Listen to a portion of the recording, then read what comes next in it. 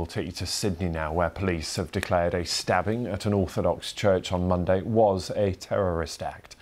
A teenage boy was arrested after a bishop and several churchgoers were stabbed while giving a sermon that was being streamed live online. At least four people were stabbed, but police said none of their injuries were life threatening. Well, the Commissioner of New South Wales Police explained why they are treating the attack as terrorism.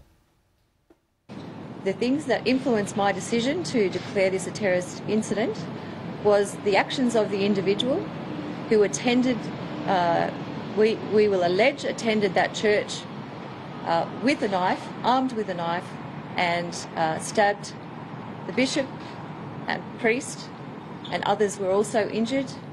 We believe there are elements that are satisfied in terms of religious uh, motivated extremism and of course the intimidation of the public through that person's acts. Well, Prime Minister Anthony Albanese called for unity in the wake of those attacks. This is a disturbing incident. There is no place for violence in our community. There is no place for violent extremism. We are a peace loving nation. This is a time to unite, not divide as a community and as a country.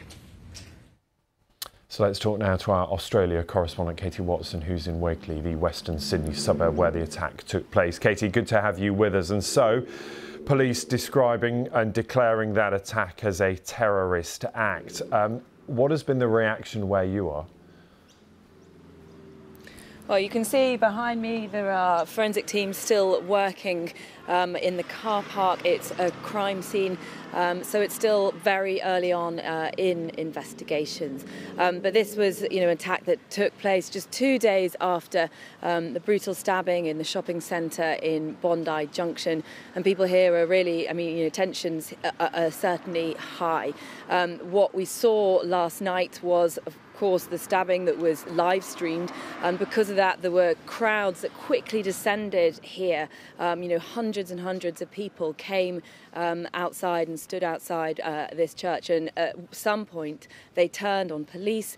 Uh, there were police injured at one point. Paramedics and police were bar- had to barricade themselves in the church um, and, and, and, keep themselves inside. Um, police have also said um, that the attacker um, had tips of his fingers cut off. They're unsure whether that was self-inflicted or it happened in the, the in the in the in the, the riot situation. Certainly, um, you know, all of this is currently being investigated. So there's an awful lot really to, to, to digest and to try and get their heads around. Obviously, the attack, but also the confrontations that we saw afterwards.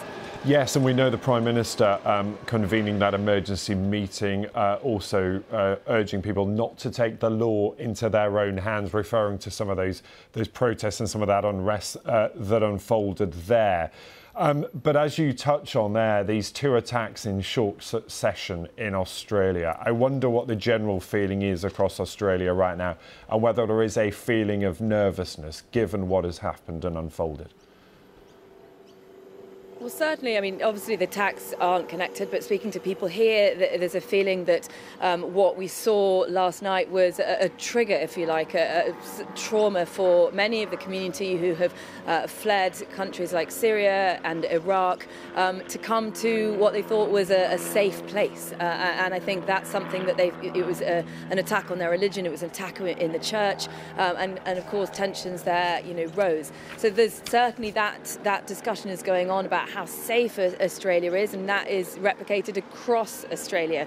Uh, uh, you know, the, the conversation I've heard time and time again in these last few days is this sort of thing doesn't happen in Australia, but we've seen it happen, and we've seen it happen twice in the last, you know, in, in less than a week.